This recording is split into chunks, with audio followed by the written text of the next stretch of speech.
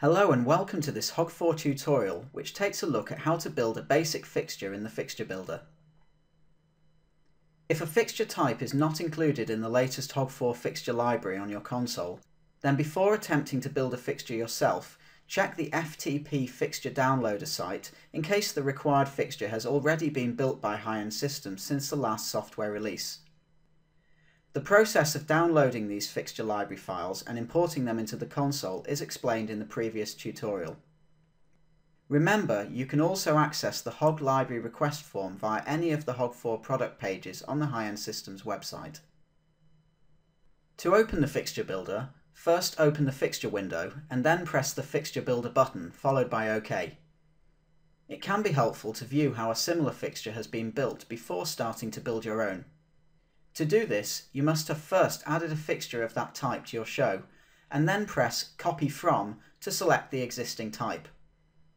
You can give this new custom type a name and either edit it directly or refer back to it by selecting it from this drop-down menu. Please note that it is not possible to have all the unique elements of a library created by high-end systems when using the fixture builder. For example, virtual intensities. Even if you start the build process by copying from an existing fixture, the virtual intensity functionality will be removed when you build the type. This tutorial will look at the steps required to build a fixture from scratch, one channel at a time. First of all, press Create New and give your fixture a name, plus the author and any notes if you wish. Then specify how many DMX channels the fixture has, in this case 12. The majority of fixtures have just a single patch point, but if your fixture has an external dimmer, then you would add a second patch point, typically at channel 2. For this example though, we need just a single patch point, and so this can be easily removed. Channel 1 from the DMX chart is now being displayed on the screen. Select the function cell for channel 1 and press Set or double click. Press the Intensity tab and select Intensity from the list. Within the fixture builder, all lists are now sorted alphabetically. The function will become the parameter name when you are programming. Press enter or double click to close the window. To quickly explain what feature is, if you had a gobo rotation function for example, then you might have an index feature and a rotation feature, which you would select from the encoder box when programming. For basic functions such as intensity, there are no different features to choose from, and so this automatically fills with intensity for you. Now enter the range of DMX values for this parameter. Either type this in or select 0 through 255 from the drop-down list and press enter. Finally, you must assign real-world values to this function. The real-world values are the actual values which you will see displayed on the console when you adjust the parameter. Select 0 through 100% from the drop-down list, followed by Enter. One tip for building your own fixtures would be to press the Build Type button after completing a channel. If you receive the Custom Type Built Successfully box, then you know your entries for this channel are in the correct format. This also allows you to now reselect another fixture from the drop-down list, perhaps to check how to configure your next channel. The next six channels from the DMX chart are now being displayed on the screen. The first four are 16-bit, so pan and tilt have coarse and fine, and therefore use two channels each. There is also the added feature of pan and tilt rotation, which is becoming a common feature of some fixtures. To combine two channels to create a single 16-bit channel, select the cell for a channel and type 2 slash 3. They do not need to be consecutive channels to combine them as a 16-bit channel. Once combined, you can choose to delete the extra DMX entry for each channel if it's not required, which simplifies the look of the fixture. Now you can assign the functions of pan and tilt to each channel, and the feature will default to being pan and tilt also. Once again, enter the range of DMX values. For a 16-bit channel, the range would be 0 through 65,535, and you can assign this to both pan and tilt at the same time by selecting both cells, pressing Set, and selecting that range from the drop-down list, followed by Enter. The DMX chart shows a maximum range of pan of 660 degrees. Enter the real world value as minus 330 through 330 and press enter. This will ensure that 0 degrees is in the middle of the DMX range. Repeat the same process for tilt with real world values of minus 150 through 150 degrees.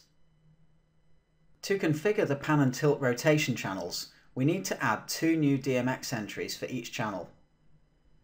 To add a DMX entry, select any cell within a channel and press the New DMX Entry button.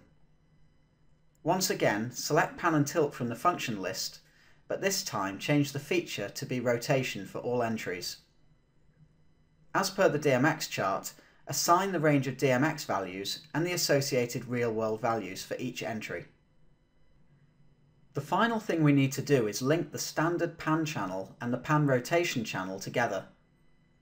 This is done by adding a new DMX entry to each channel. On the main 16-bit pan channel, set the new entry to pan rotation, but in the DMX value cell select no value from the list. On the pan rotation channel, set the new entry to just pan, but again enter no value into the DMX value cell. There is no need to assign real-world values to either of these entries. Repeat the same process for the tilt channels, and then again check that everything has been entered correctly by pressing Build Type.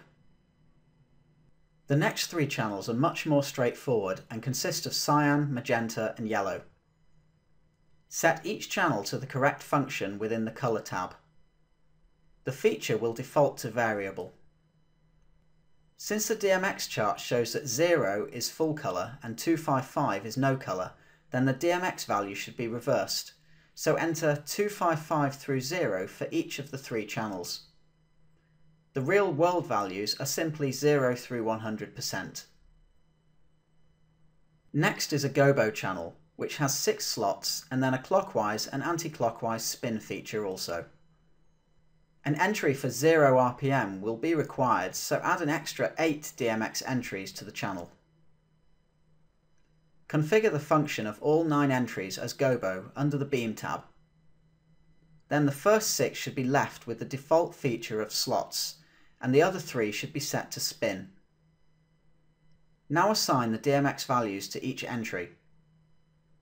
If the fixture only supported snapping between gobos, then a single DMX value can be entered for each slot. However, in this example, we will assume that the gobos can scroll from one to the next, therefore the full range should be entered. When it comes to the real-world values, select the most appropriate name from the predetermined list. For each slot, you should also enter an offset value of minus 50 through 50%. All slots must have the same offset applied, and in real terms, the offset will be displayed on the encoder wheel to show what proportion of the gobo is currently in view as you transition from one to the next. Many fixtures do not support scrolling backwards from the open position, or scrolling forwards from the final gobo, and this can be accommodated in the fixture builder. The fixture may not be able to sit in the minus 50 through 0% range for the open slot, and possibly the last slot cannot sit in the 0 through 50% range. Therefore, these offsets should be mapped to a single DMX value. Add another two DMX entries and you can copy and paste the function and feature settings. For the open slot, set the DMX value to 0 and the real world value to open, but with an offset of minus 50 through 0%.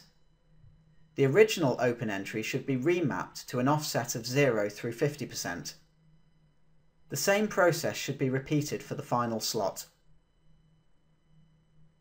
Continue to add the range of DMX values and real-world values for the spin feature, and once again press Build Type to check your work and save your progress.